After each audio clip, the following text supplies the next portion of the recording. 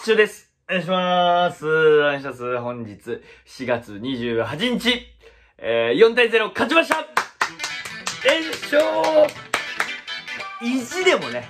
でも意地でも B クラスに行かないぞっていうね、えー、そういう強い意志が感じられますね。いや、素晴らしい。この勝利でかい。うん。それを打線ね、昨日爆発して、そのね、まあ、ほかほか具合をね、あのちょっとね、あの、あの、昨日たくさん打ってもう打線疲れちゃった、みたいな、そういうのやめてねって言ってたんですけど、初回にしっかり3点取って、それも、それもね、あの、2アウトから3点取るというね、これでかい。これめちゃくちゃでかい。ね。えー、まあ、あのー、まあ、2アウトから、えー、チャンス作って、えー、井上打って、えー、坂本、坂本打ってということで、えー、まあ、6、7番でね、え点が取れたっていう。えー、もう本当に、あのー、まあ、タイガースは、ちょっと、ここ最近ね、やっぱ、まあ、6、7番っていうか、まあ、5、6、7がちょっと不調で、結構、塁溜まっててもそこで、まあ、あのー、凡退して残塁っていうシーンがね、まあ、たくさん、まあ、見受けられたんですけども、まあ、サトテル、ホームランから、ちょ、今日もね、えー、2安打。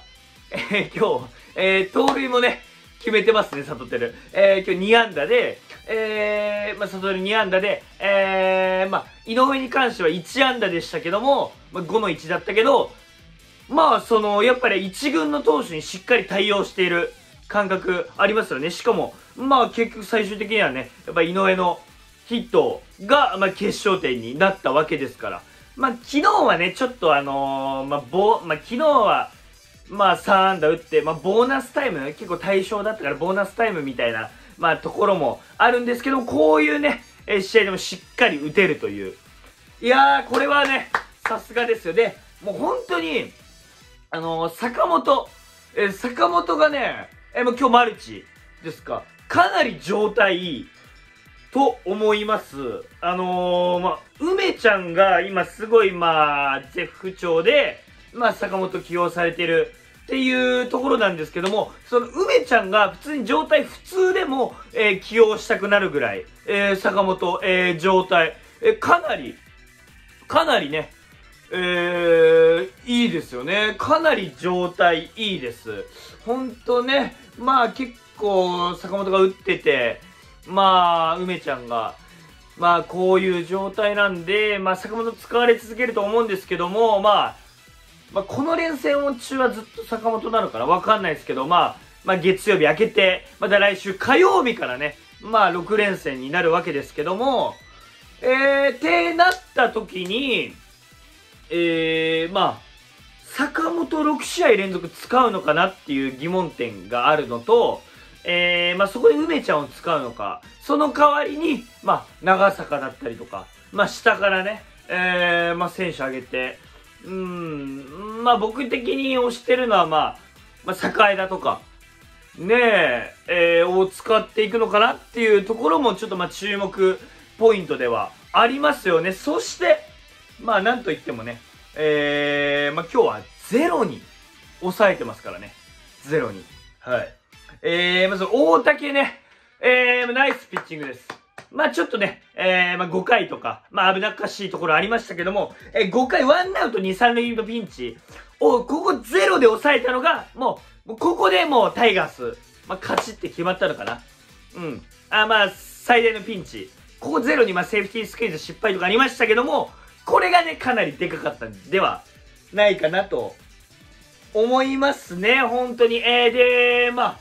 まあちょっとまあ状態的にも、えー、岡田監督がね、まあ球数もまだ70球ぐらいでしたけども、えー、まあ岡田監督が、えー、ピッチ変えて、まあこの判断もね、かなり良かったと思いますし、今日は、あのー、石井が、えー、まあ石井大地がね、えー、2イニング、買いまたぎの投球ということで、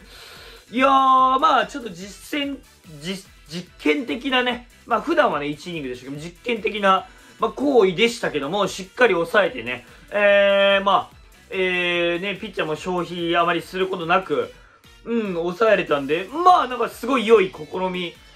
だったのかなと思います。まあ4点差とかあったんで、まあちょっとね、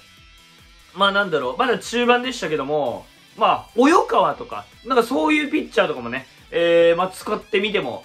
面白いんではないかなと。まあ、及川ね、まあ、最近配線、えー、処理の、えー、ロングリリーフっていう、そういう使われ方しますけど、まあ、こういう場面でね、ちょっと2回投げてみたりとか、するのも、まあ、面白いんじゃないかなっていう、そのビハインドじゃなくて、得点、勝ってる状態で投げるっていうのもまた違う、違う、違うと思いますし、うん、なんかそういうののも、面白いのかなと、えー、思いますね、かなり。で、まあ、ザキさんしっかり、えー、抑えて、ケラーもめちゃくちゃ良かったですね。えー、まあ、今日4点差だったんで、あのー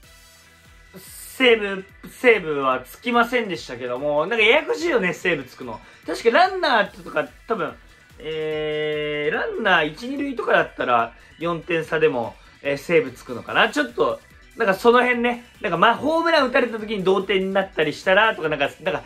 なんかそういう、なんかセーブポイントつくの、なんかそういういろんなね、えー、3点差以内じゃなくてもそういういろいろルールありますけど、まあ、まあ今日4回で投げて、うん、まあ、しっかりもう完璧いい時のケラーという感じでしたね、本当に。はい。いやー、でかいね、本当にこの勝利は。はい、ということで、うん、やっぱりね、でも6、7番がね、機能してるタイガースは強いですよ。で、サトテルが、ね、あ、今日はね、えー、中野も、えー、まあ、あ、6回中野盗塁してますか。えー、盗塁し、中野も盗塁して、えー、その後に大山が、えー、しっかりね、えー、タイムリー打って、また6回というね、えー、ちょっとまあ、初回3点取って、まあ試合が硬直してる中、えー、打てたっていうのはかなりね、えー、でかいんじゃないかなと、やっぱ思いますよね。まあ、やっぱり、まあ今回中野、今日はね、中野盗塁しましたけどもね、えー、まあやっぱり1、2番近本中野、まあ盗塁できるね、力ありますけども、やっぱりノイジーとか、まあ、大山。大山もね、今日マルチですか。えー、ナイスバッティング。えー、まあ、大山といいバッターが続いてますから、あんまりね、まあ、序盤から走らせる場面とかはあまりね、えー、ないと思うんですけども、えー、まあ、そんな中ね、サトテルが盗塁して、チーム最多盗塁なんですよね、サトテルがね。まあ、すごいな。えー、ね、ここに来て変な才能じゃ変なっていうのもおかしいですけど、まあ足速いっていうね。えー、まあいいんじゃないでしょうか。はい、井上もね、えー、まあ、かなり状態いいので、まだ3割切ってないのかな。まあ、打席数少ないですけども。えー、まあ、まあね、えー、まあ、もうちょいね、ずっと使われ続けるんじゃないかなって、まあ、変なことしなければ別に外される感じもないですし、うん、なんか安定してきてるんではないでしょうか。ということで、明日がね、えー、村上。いやー、村上ね。